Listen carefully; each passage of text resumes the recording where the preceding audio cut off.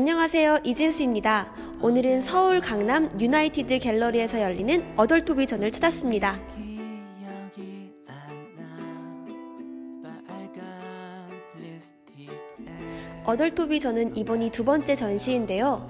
4명의 개성 있는 작가들의 작품을 마음껏 감상할 수 있었습니다.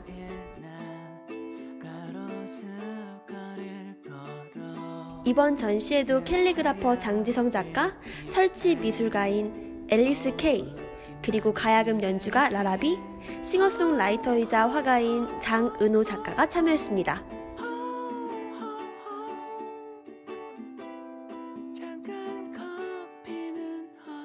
성공적인 개인전을 마치고 다시 어덜토비 전을 찾은 장지성 작가는 잘생긴 외모와 부드러운 카리스마로 인기가 많습니다.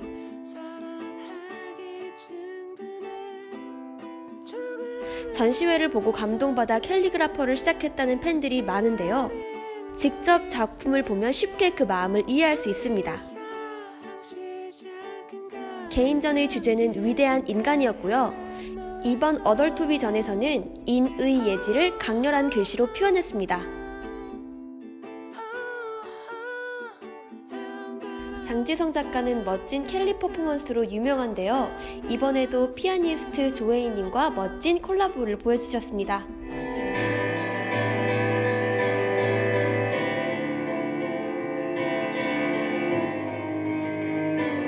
앨리스 K 작가는 작년 전시회 때 무지개를 실로 표현한 설치 예술을 선보여 주목을 받았습니다. 많은 관객들이 무지개와 구름을 배경으로 사진을 찍었던 것이 기억이 되는데요. 이번에 앨리스 K 작가는 도시를 배경으로 한 작품을 선보였습니다. 딱딱한 빌딩 숲처럼 보이지만 역시 둥실 떠 있는 뭉게 구름이 보이는데요.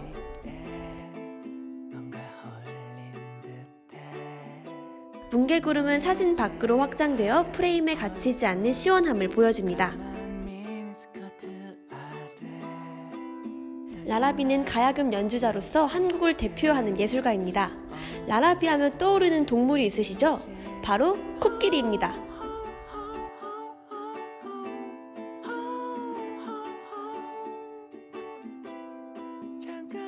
이번 어덜토비 전에도 많은 코끼리가 등장했는데요. 코끼리의 외출이란 작품에서 라라비님이 수집품을 볼 수 있어서 너무 좋았습니다. 메인은 6개의 캔버스를 붙여 커다란 코끼리를 만든 작품입니다. 명주실로 코끼리의 질감을 표현하고 강렬한 색채로 코끼리에 대한 감정을 표현했습니다. 다음 전시에는 더 많은 캔버스가 추가되며 코끼리의 세계가 확장되는 모습을 보여주신다니 기대하셔도 좋을 것 같습니다. 라라비님은 오프닝 때도 멋진 연주를 보여주셨습니다.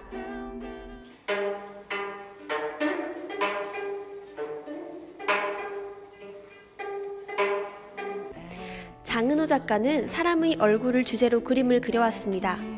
이번에는 뮤직비디오를 만들던 경력을 살려 영화 같은 혹은 그림 같은 얼굴 사진을 전시했습니다.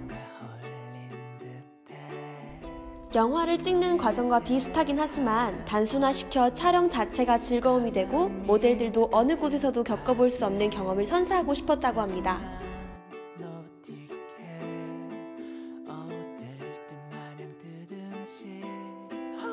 저도 모델에 참여했었는데요. 수십 개의 조명에 둘러싸여 커다란 필름 카메라를 바라보는 건 굉장히 신비한 경험이었습니다.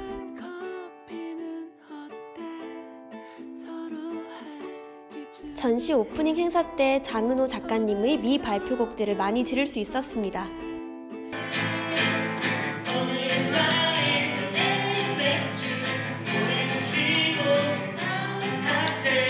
어덜토비 전은 강남역 부근의 유나이티드 갤러리에서 2월 20일까지 진행됩니다.